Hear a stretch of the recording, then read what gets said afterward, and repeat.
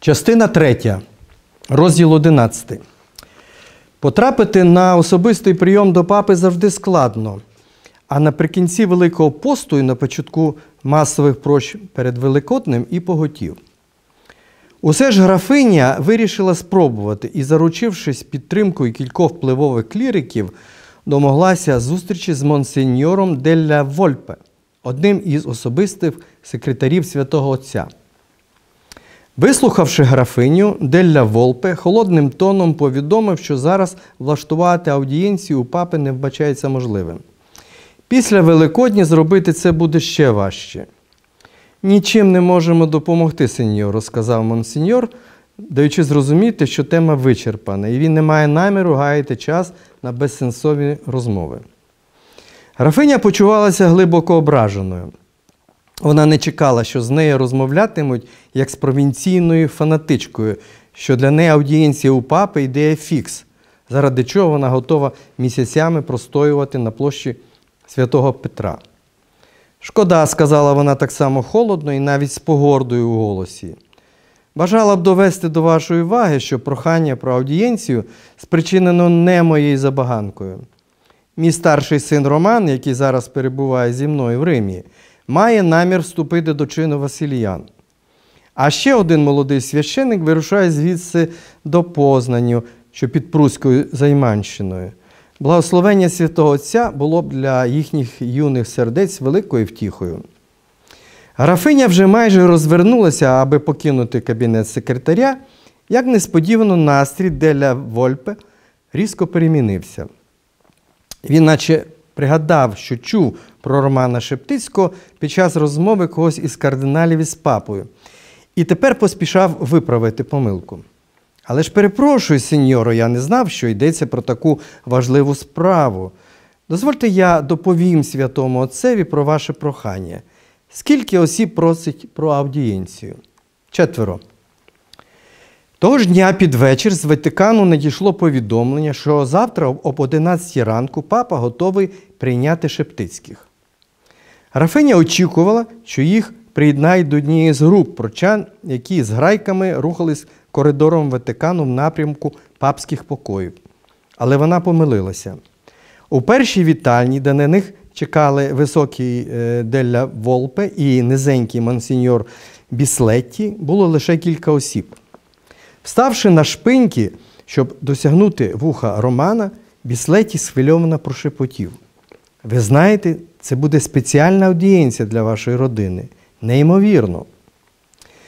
Перед Шептицькими до папи заходили два його давні приятелі з Перуджі і посол Чилі у Ватикані з дружиною. Більше нікого не було.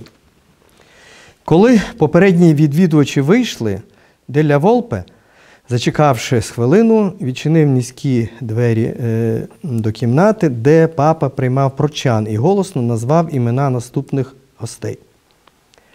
Зала виявилася вузькою і продовгастою, а з її протилежного боку до невеличкому, на невеличкому підвищенні сидів папа Лев XIII, до обрання главою Вселенської церкви граф Вінченцо Джоакіно Петчі.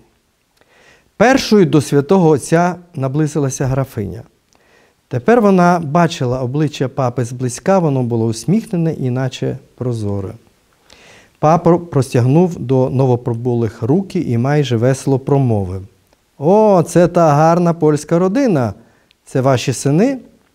Так, ваша святосте, двоє моїх синів, а третій, наче адаптований, і графиня відрекомендувала кожного з їхньої нечисельної делегації.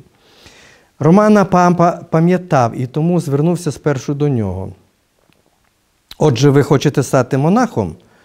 Так, ваше святосте, Василіянином. Як Васильяном?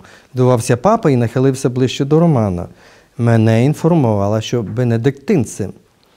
Ні, ваша святосте, Васильянином, повторив Роман, зібравши усю витримку, аби не розгубитись за такого неочікуваного повороту справи. Васильяном, значить, у такому разі ваше рішення тішить мене ще більше. Василіяни мають велике майбутнє в церкві. Їхня місія осяяна Божою ласкою. Схід очікує на них. Ми ініціювали реформу монастиря у Добромелі, підказав Роман. Так, так, монастиря Василяну Добромелі. Ми багато говорили про неї з отцем, якщо не помиляюсь, Яцьковським. Чи я не сплутав його з кимось іншим? Ні, прошу святого Отця, ви не сплутали. Я дуже високо ціную його, дуже.